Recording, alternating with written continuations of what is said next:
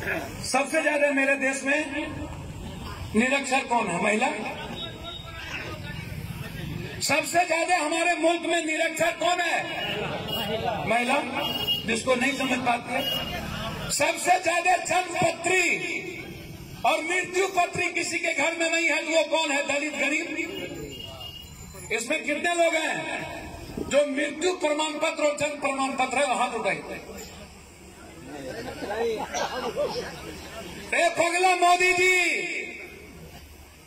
जिस मुल्क में जन्म पत्री और मृत्यु का प्रमाण पत्र लगभग अट्ठाईस प्रतिशत, अट्ठाईस करें, तिरसठ प्रतिशत लोगों के पास नहीं हो, अट्ठाईस प्रतिशत इस देश में निरक्षर है, निरक्षर। निरक्षर मतलब नाम लिखना भी नहीं जानता। यह वेबसाइट पर है। तिरसठ प्रतिशत महिलाएँ इस देश की निरक्षर है। वहाँ तुम कहते हो एनपीआर, एनआरसी। किसके लिए? पंद्रह करोड़ घुमंतु जाति, आठ करोड़ छत्तीस लाख अनुसूचित जनजाति जिसके पास कोई कागज़ कोई पत्री नहीं पंद्रह करोड़ बंजारा नाट भट्ट लोहारा भोटवा चौदह जाति है जिसके पास कोई कागज़ नहीं है। तीस करोड़ लोगों के पास कोई ज़मीन नहीं है। एक सौ सत्तर लाख लोगों के पास कोई घर नहीं है।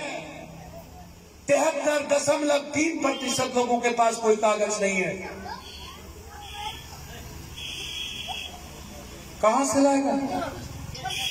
अरे अंजनी बाबू, कानून कब आया? सर्टिफिकेट वाला। अरे कब आया कानून?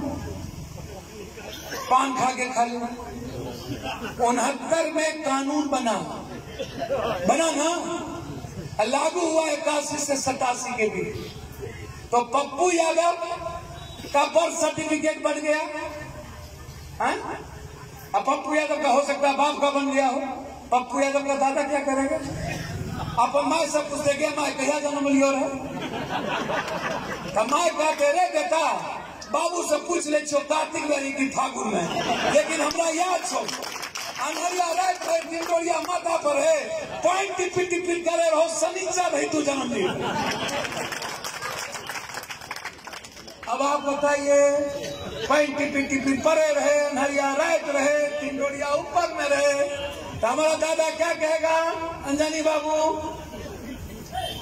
कि हम टिंडोरिया में जन्म ले लिए रहे रुक जाइए।